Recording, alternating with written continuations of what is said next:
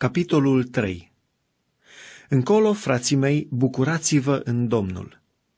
Mie nu mi-este greu să vă scriu mereu aceleași lucruri, iar vouă vă este de folos.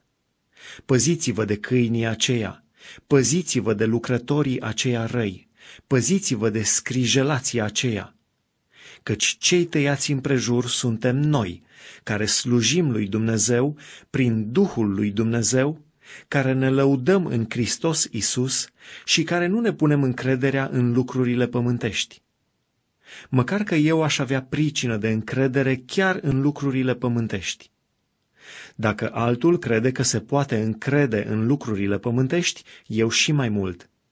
Eu, care sunt tăiat împrejur a opta zi din neamul lui Israel, din seminția lui Beniamin, evreu din evrei, în ce privește legea fariseu, în ce privește râvna prigonitor al bisericii, cu privire la neprihănirea pe care o dă legea fără prihană. Dar lucrurile care pentru mine erau câștiguri le-am socotit ca o pierdere din pricina lui Hristos.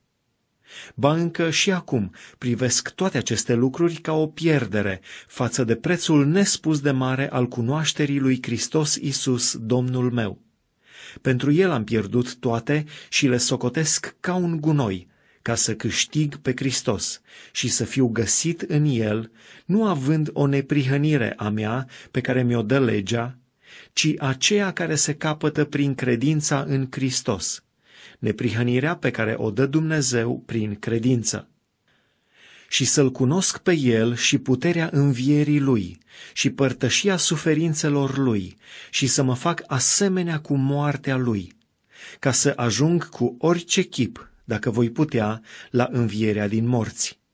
Nu că am și câștigat premiul sau că am și ajuns de săvârșit, dar alerg înainte căutând să-l apuc, întrucât și eu am fost apucat de Hristos Isus. Fraților, eu nu cred că l-am apucat încă, dar fac un singur lucru.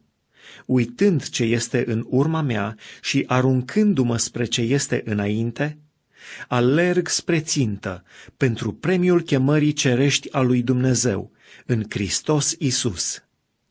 Gândul acesta, dar, să ne însuflețească pe toți care suntem desăvârșiți și dacă în vreo privință sunteți de altă părere, Dumnezeu vă va lumina și în această privință. Dar în lucrurile în care am ajuns de aceeași părere, să umblăm la fel.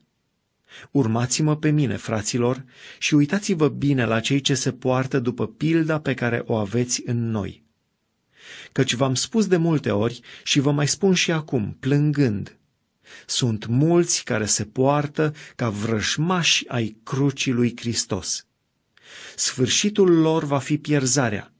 Dumnezeul lor este pântecele și slava lor este în rușinea lor și se gândesc la lucrurile de pe pământ. Dar cetățenia noastră este în ceruri, de unde și așteptăm ca mântuitor pe Domnul Isus Hristos. El va schimba trupul stării noastre smerite și îl va face asemenea trupului slavei sale, prin lucrarea puterii pe care o are de a-și supune toate lucrurile.